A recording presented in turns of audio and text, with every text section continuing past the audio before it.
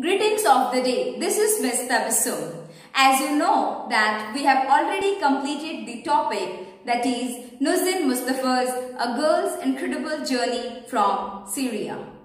Today I am here to discuss the summary of this chapter. So let's get started. So here it goes. In A Girl's Incredible Journey from Syria, Nujeen tells her story, recounting how she overcame the cataclysmic circumstances, dangerously leaky dinghies and monstrous waves to reach freedom. Nujeen Mustafa, a teenager born with cerebral palsy whose harrowing journey from war-ravaged Syria to Germany in a wheelchair is a breathtaking tale of fortitude, greed and hope that lends a face to the greatest humanitarian issue of our time, the Syrian refugee crisis. When the war began there, Nujeen was forced to flee from her country, Syria. Despite her physical limitations, she embarked on the arduous trek to safety and a new life. She was among 38 people who was in a small boat. They had to cross the sea to an island. Nujeen was in a wheelchair. Nasreen, that is, Nujeen's elder sister, was taking care of her and holding her wheelchair straight. The people in the dinghy were sleep deprived under the hot sun and had nothing to drink. Few of Nujeen's relatives had been shot in the war. Nahda, Nujeen's other elder sister, was taking care of her four children. Uncle Ahmed was trying to drive the boat in a worried manner as he had learned to drive the boat through YouTube videos for the last two days. The sea was not calm the day they started their voyage.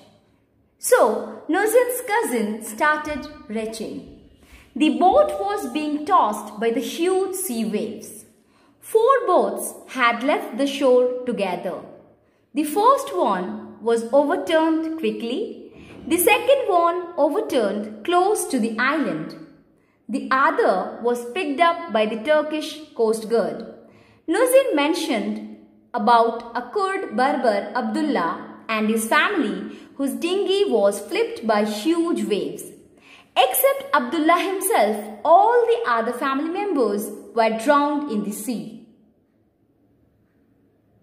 Finally, Nujeen and others reached the island. Now, while in Germany, Nujeen got an opportunity to attend school. Yet, in spite of the tremendous physical hardship she endured, Nujeen's extraordinary optimism never wavered. She wrote a girl's incredible journey from war-torn Syria in a wheelchair in 2016.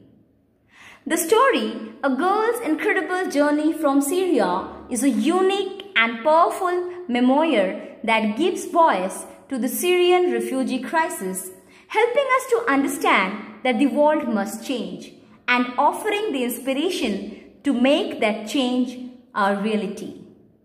Now, here goes reference to the context. That's what happened to another Syrian family making the crossing the same day. Who is the speaker here? Answer, Nujeen Mustafa is the speaker here. Why were the Syrians leaving their country? Answer, the Syrians were leaving their own country because of the Syrian war continuing there and it had disturbed their lives. What happened to the Syrian family mentioned in the above lines? Answer. The boat of the Syrian family capsized due to huge waves. The headman of the family, Mr. Abdullah Kurdi, was safe while his wife and two children drowned in the sea. Now, here we have make sentences. Number one, crammed. The box was crammed with letters. Second, furrowed brow. A furrowed brow gives the impression of a brain thinking deep thoughts. Third, drenched. We were drenched by the rainstorms. Fourth, crouching. The beggar is crouching in a corner of the room. Fifth, scrambled. He scrambled up the cliff and raced towards the car. Sixth, flipped.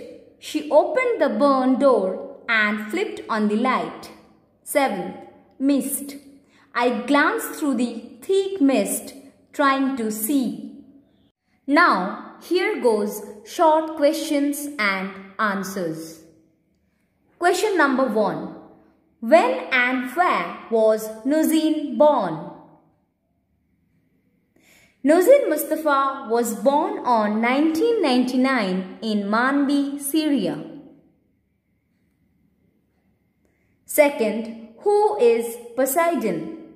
Answer. According to the Greek mythology, Poseidon is the god of the sea.